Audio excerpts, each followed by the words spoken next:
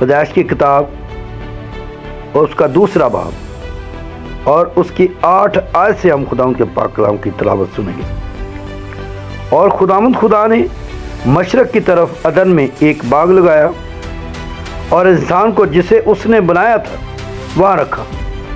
और खुदावंद खुदा ने हर दरख्त को जो देखने में खुशनुमा और खाने के लिए अच्छा था, ज़मीन से उगाया। और बाग के बीच में हयात का दरख्त और नेको बद की पहचान का दरख्त भी लगाया। और अदन से एक दरिया बाग के सैराब करने को निकाला और वहाँ से चार नदियों में तकसीम हुआ।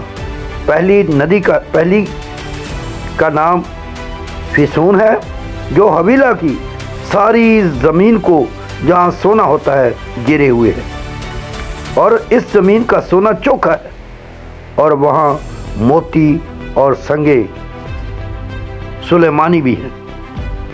और दूसरी नदी का नाम यहून है, जो कूश की सारी ज़मीन को घेरे हुए हैं। और तीसरी नदी का नाम दिजला है, जो असूर के मशरक़ को जाती है। और चौथी नदी का नाम फिरात है।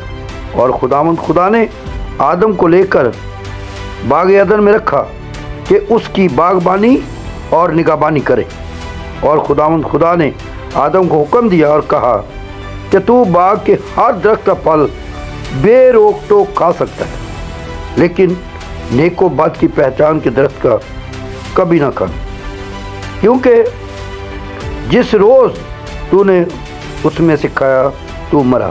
गाँव के पाकलाओं के पढ़े और सुने जाने पर उसकी बरकत हो। आमीन।